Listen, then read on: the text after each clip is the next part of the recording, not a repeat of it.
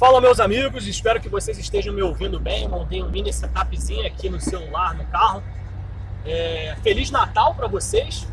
Espero que vocês tenham passado uma boa festa, assim como eu passei. Comi pra caraca, tô cheio até agora.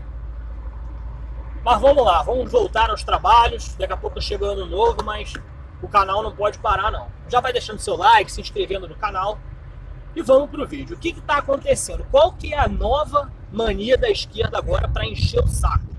Eles estão falando uma coisa que já é recorrente, eles inventaram agora, decidiram falar sobre isso. Que uma é que eles ficam falando que Jesus era comunista, que Jesus era socialista. Não que ele se autodenominava comunista, né? mas que ele tinha práticas que condiziam com uma pessoa que é comunista. É, é isso que eles estão espalhando. E outra de que Jesus, na verdade, era negro, porque ele morava em não sei onde, então não tinha como ele nascer branquinho. Enfim, isso para mim pouco importa qual foi a cor de Jesus Cristo. Isso, sinceramente, nem deveria importar. Isso é só a galera da esquerda querendo dar uma lacrada, né? Mas enfim, eu queria focar nesse assunto aí deles chamarem Jesus de comunista. Quais são os argumentos que eles estão usando para chamar, ou oh, retardado aqui na ponta da mão, Quais são os argumentos que eles estão querendo usar agora para falar que Jesus era comunista, que Jesus era socialista? Todo mundo sabe que na Bíblia apareceu que Jesus curou os mais, os mais doentes, andou ao lado de pobres, perdoou bandidos, perdoou prostitutas e por aí vai.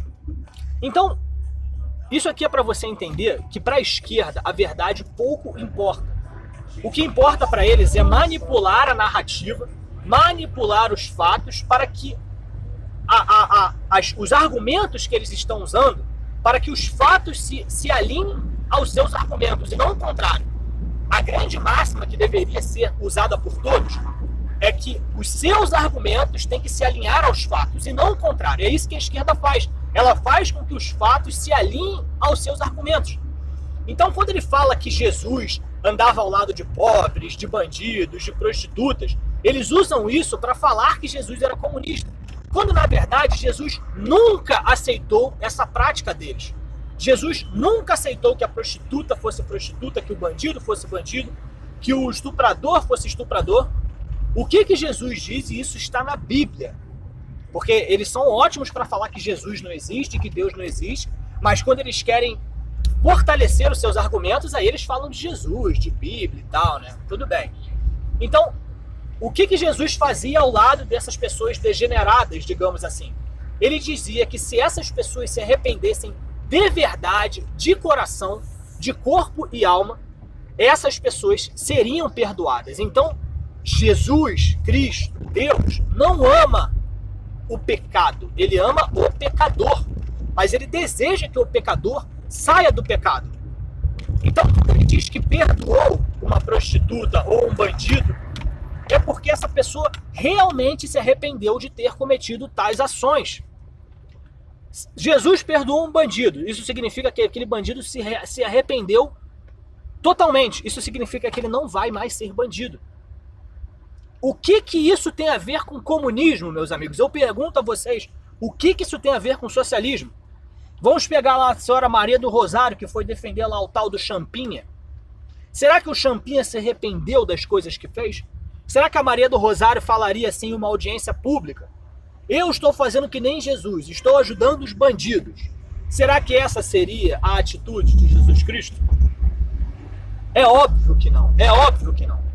Só que agora eles estão nessa de que não, Jesus estava ao lado do, dos pobres e dos bandidos e que não sei o quê. Então Jesus era comunista. É, é um raciocínio tão fácil, né? Por que, que, ninguém nunca pensou nisso, meu Deus do céu? Por que, que não tem uma palavra dessa sobre isso na Bíblia? Não, mas Jesus era comunista. Então, para não estender muito aqui, isso é só mais uma coisa ridícula que a esquerda está querendo implantar para tirar, ou melhor, para trazer aqueles fiéis que de alguma maneira ainda acreditam no socialismo, como por exemplo o Cabo Daciolo. Todo mundo sabe que o Cabo Daciolo, antes de virar um cara de direita, né, era filiado ao PSOL. Eu lembro de uma, de uma, eu não sei se era um show, cara, era um palco grandão, eu não sei se era uma igreja mas o Cabo Daciolo estava discursando para as pessoas lá e ele falou alguma coisa assim do tipo: Me parece que o socialismo cresce. Aí a plateia ainda o delírio assim com ele falando isso, ou seja, na época que ele acreditava no socialismo, ou dizia acreditar no socialismo, né? Quer dizer, é um religioso que era socialista. Por que, que religiosos, cristãos, católicos, seja lá o que for, acabam virando socialistas? Por causa dessa parcela. A esquerda costuma repetir tanto que, ah, não, se você é cristão, então você tem que ser puro amor. Você tem que dar outra face. Se alguém chegar e dar um soco, você vai e oferece outra face, porque é isso que Jesus faria. Vocês percebem como isso é ridículo? Eu sei que vocês percebem. Então, eu vou finalizar o vídeo por aqui. Muito prazer, eu me chamo Renan França. Mais uma vez, Feliz Natal para vocês. Boas festas. Não caiam nessa ladainha idiota de que o Jesus Cristo era socialista. É ridículo. Isso, inclusive, é pecado.